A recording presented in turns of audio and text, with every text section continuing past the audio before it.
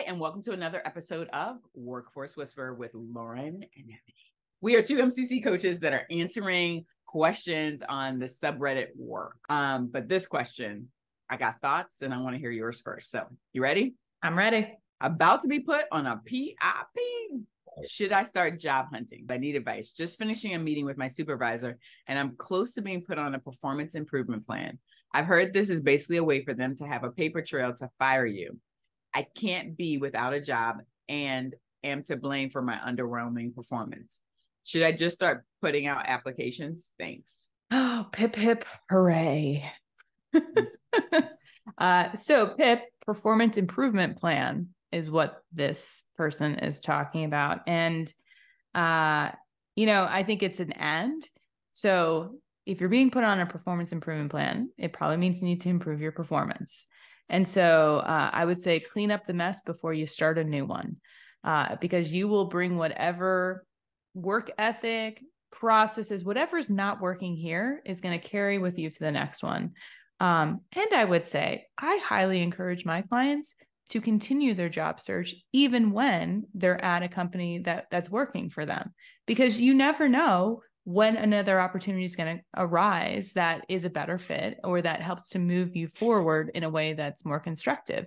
Also, you never know when companies change their priorities. So, cover your own needs and also work on your own skills. So, I would work through the performance improvement plan and not look at it as there's something wrong with me, but there's there's an opportunity here to reflect and to grow and to improve, uh, rather than seeing it as this is a criticism of who I am and, and what the company thinks of me. What you got? Um, I thought to myself, oof, one, if you know that you're underperforming, this is the time for you to decide how you're going to resolve the issues that may be happening in life or internally that are then bleeding over into work, which can lead to a whole new set of stressors, um, triggers, and things like that that are hindering you being your best self. And so, what do you need to shed or rework or replan so that when it comes to your main source of earning a living, you have the ability to continue that process without this additional stress. For the question, yes, you need to start putting in applications. And then two, ask your boss, your manager, your leader, how you're doing at the end of every two or three days. Are you seeing a change? What are the little things I need to tweak, right? When you're on the performance improvement plan, this is also an opportunity for you to open up a lane of communication that can help you retain the position if that's what you're le- looking for. If your manager meets you back with silence and stonewalls, then you know definitely that's a sign for you to go and put in addition and begin to apply for additional jobs.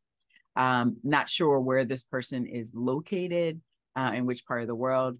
If you are here in the United States, we have a very low unemployment rate. There just aren't enough people. So you'll have a good chance of landing a new position.